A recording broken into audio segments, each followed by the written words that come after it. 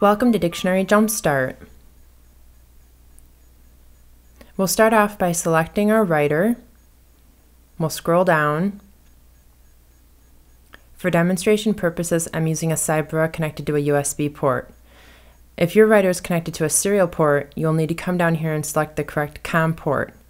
This setup is the same as in your CAT software. Dictionary Jumpstart offers seven different modules.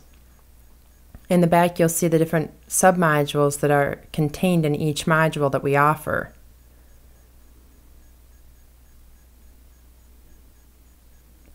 For demonstration purposes, we're going to choose the names module.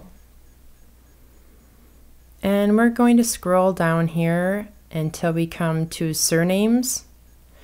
The names module has well over 10,000 entries.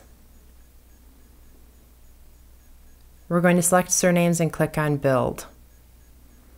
We'll make sure that our writer is connected with a couple of strokes on it. Stroke out the word and click on the period with the asterisk to move to the next new word. At this point, your hands are glued to your steno writer. All of these things can be accessed from your steno writer, so there's no back and forth between your computer keyboard.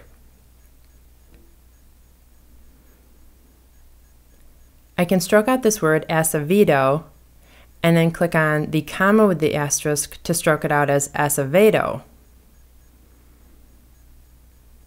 And then I hit period with the asterisk to move to the next new word.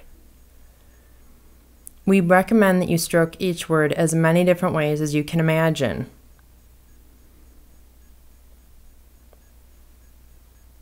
It's very easy to input about a thousand words in an hour.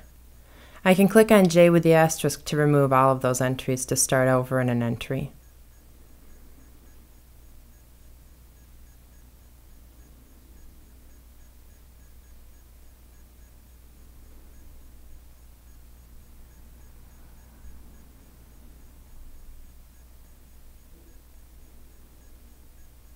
I'm going to stroke out this word two different ways.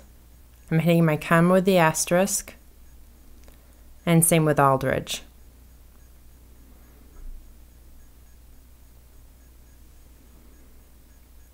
Now I'm going to take a break.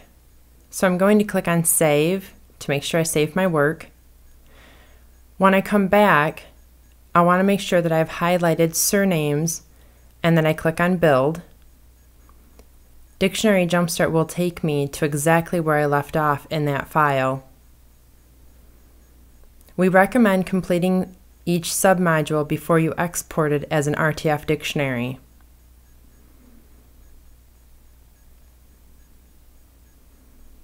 For demonstration purposes, we'll click on Save, and we'll pretend like we finished this. We'll click on Make RTF. We recommend saving the RTF dictionary in either My Documents or your desktop. We'll save the RTF.